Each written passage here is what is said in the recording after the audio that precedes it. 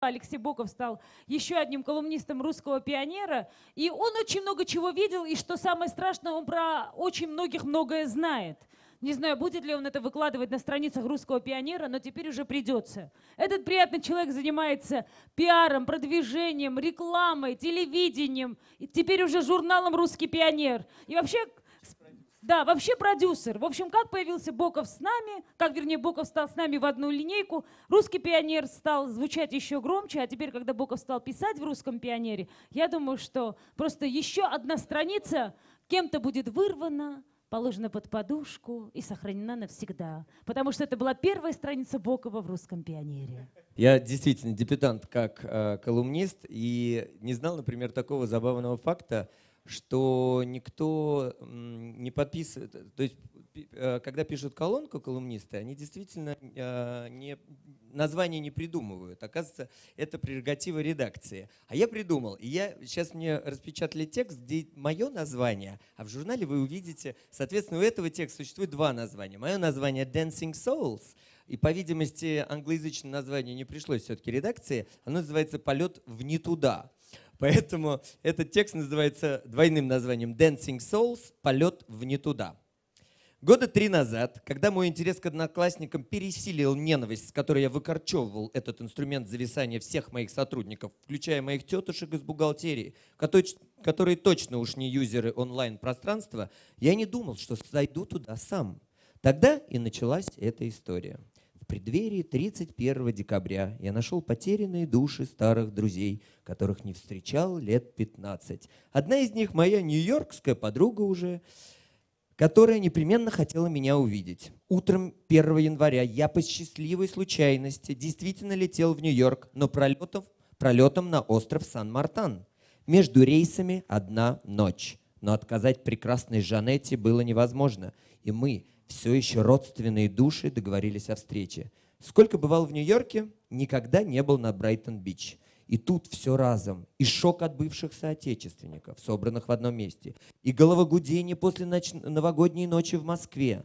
Бурно праздновали встречу с Жанетой в русском караоке. Пели дуэтом, будто и не расставались на 15 лет. Потом такси, аэропорт.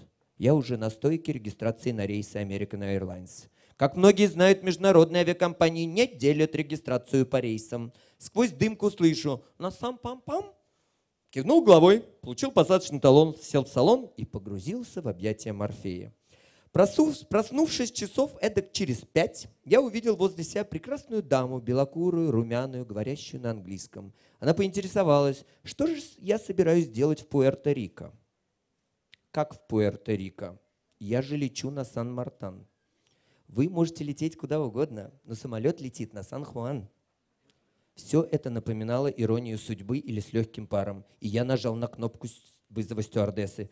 Вот билет. Красным по белым написано «Нью-Йорк, Сан-Мартан», заявил я ангелоподобному созданию в униформе. И она, увы, подтвердила, что действительно этот рейс в Сан-Хуан, и ей совершенно непонятно, как я попал на борт.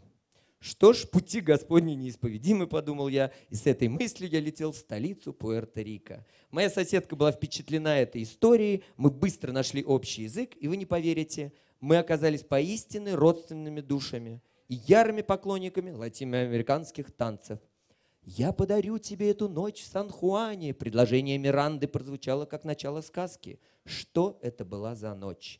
Мы танцевали сальсу и маренго – плескались в океане и говорили, говорили, говорили. А на Сан-Мартан меня доставил не ковер-самолет, а служебный борт Миранды, который летел на один из Виргинских островов.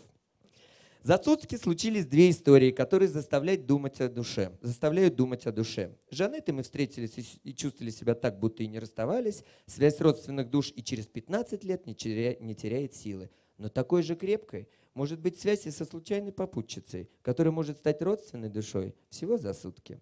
Как Миранда, которая отложила бизнес-перелет, бросила все дела, чтобы танцевать со мной всю ночь напролет. Что такое душа? В какой-то момент я понял, что ответ на этот вопрос очень интересует многих людей, окружающих меня. Как человек, шагающий в ногу со временем и пропагандирующий инновационные технологии общения, первое, что я сделал, бросил клич в Твиттер – Твиттериане – народ активно мыслящий и социально ответственный. Не особо философствуя предложил мне массу вариантов. Никнейм Гибинска. Душа – это орган между грудей, напоминающий о себе болью в особых обстоятельствах. Никнейм Коробков. Душа – это как бы совокупность моего сознания, опыта и мыслей. Никнейм кризис жанра. Душа – это как детская комната. Иногда она кристально чистая и наполнена любовью, а иногда в ней грязно, как будто в нее насрали. Никнейм Нузгул. Душа – это отличие живого мозга от мертвого. Ник Стр Настя.